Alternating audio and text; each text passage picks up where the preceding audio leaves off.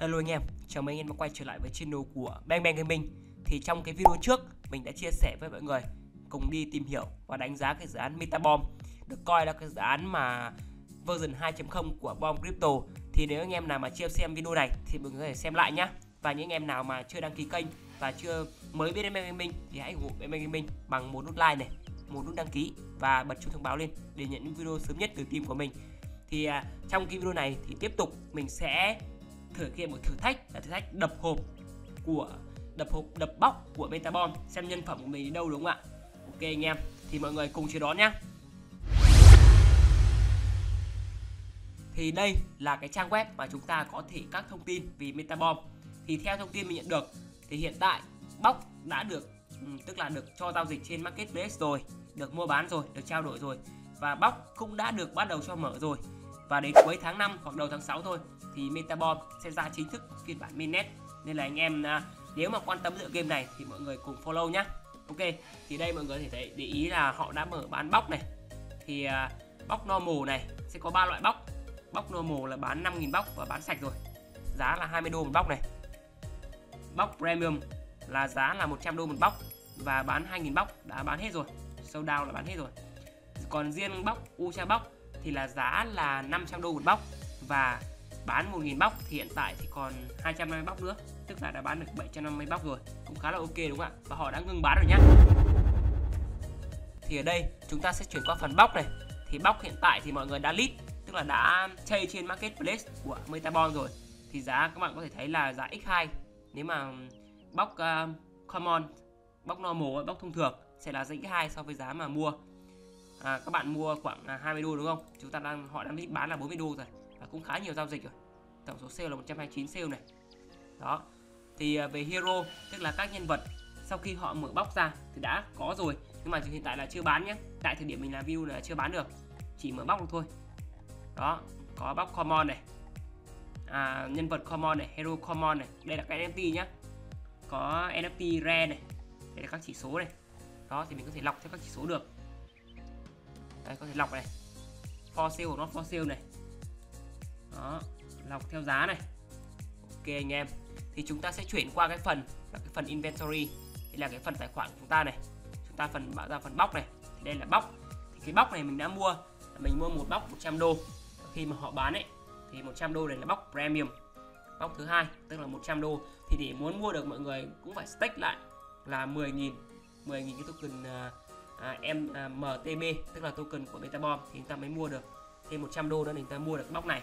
Thì chúng ta kết nối ví nhé, vào trang web của nó này app.metabomb.io kết nối ví và chúng ta sẽ có được cái bóc mà chúng ta đã mua rồi. Thì đây mình sẽ mua và mình sẽ mở nhé, mở nhân phẩm xem nhân phẩm đến đâu. Ok anh em. Thì trước khi mở thì chúng ta sẽ chuyển qua thì chúng ta hình dung được là nó sẽ có ba loại bóc đúng không? Như mình vừa chia sẻ. Thì cái tỷ lệ random mở ra những cái hero nào, những hero như nào trong các cái hero của chúng ta thì chúng ta cùng xem nhé.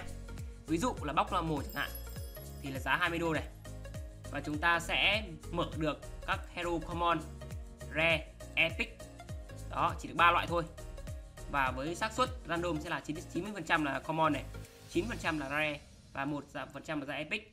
Còn cái bóc premium, giá 100 đô này, thì chúng ta sẽ có mở thể mở được là common này, rare, epic, legend. Là chúng ta sẽ mở được hero common là 30% rare là 50% epic là 19% và legend là 1% còn riêng bóc Ucha thì là 500 đô này.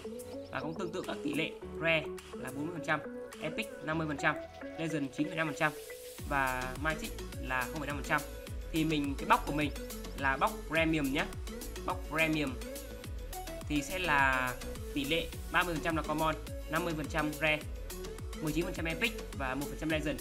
Thì rất mong là đợt này mình có thể mở được ít nhất là nhân phẩm của mình tốt đi, sẽ là epic đi, khoảng 19% đúng không? Còn xịn nữa thì là legend thì cực kỳ cực kỳ rất là ngon rồi. Nhưng mà nếu không được thì rare cũng được, còn ra common thì nó hơi xui một chút đúng không? Ok em cùng chờ đón nhá, mình sẽ mở luôn đây. Ok ok ok. Thì mình sẽ vào open này. Đó, mình sẽ up để mở bóc này. Thì chúng ta cũng cần một chút phí à, ga ở trên à, ví metamask nhé cần một chút bnb để là phí, ta xác nhận này ok sau khi xác nhận thì chúng ta sẽ xác nhận một lần nữa để chúng ta mở bóc. Ok ok chúng ta sẽ xem được là Re, ok, cũng tạm ổn đúng không? Chúng ta đã mở được một bóc là Re, độ hiếm là Re, level 1 À một cái NFT nhé, một cái hero là Re. Đã có lâu này, chúng ta sẽ qua phần hero để chúng ta tìm. Và lốt lại xem nó đã hiện cái hero của chúng ta chưa. Nào này, inventory. Đó, cái phần hero chúng ta đã có hero rồi. Thì đây là một nhân vật để ấn vào xem này. Thì các độ hiếm của nó là power 4 Sức khỏe 6, speed 5 bom number là chỉ được 2 cộng 1 tốc độ tối đa là 3 này. Stamina 5 là 5 này. Bom rain Tức là giải bom chúng ta sẽ được hai hai viên gạch. Ok cũng khá là ổn nhá. Ok ok anh em Thì sẽ được một uh, class nó là support nhé Class hỗ trợ. Ok anh em Thì trong cái video này Thì mình đã demo để mọi người nhân phẩm mở cái bóc. Thì mình rất mong muốn là được cái bóc là ít nhất là bóc uh, epic đúng không? Nhưng mà rất tiếc là mình mở bóc uh, rare thôi. Ok là cũng tạm ổn rồi. Thì 100 đô được bóc rare này thì chắc là khả năng về bớ khá là lâu đấy. Ok ok. Ok cảm ơn mọi người rất là nhiều đã theo dõi video của mình. Thì nhớ ủng hộ em anh mình này bằng một nút like một nút đăng ký và bật chuông thông báo lên để không bỏ lỡ bất cứ video nào của team. Ok cảm ơn anh em xin chào và hẹn gặp lại mọi người trong những video tiếp theo.